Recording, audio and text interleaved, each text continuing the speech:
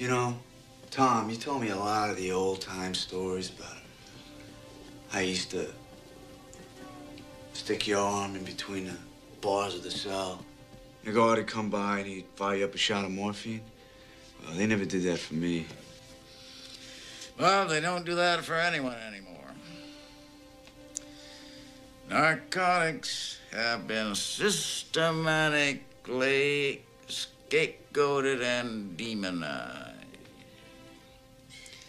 The idea that anyone can use drugs and escape a horrible fate is anathema to these idiots.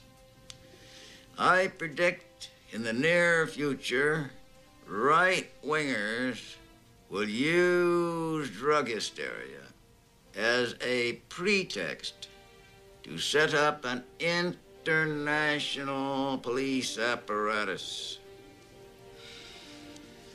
I'm An old man, and I may not live to see a final solution of the drug problem.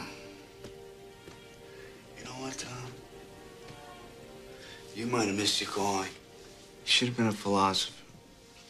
Well, Bob, in another life, perhaps. In another life.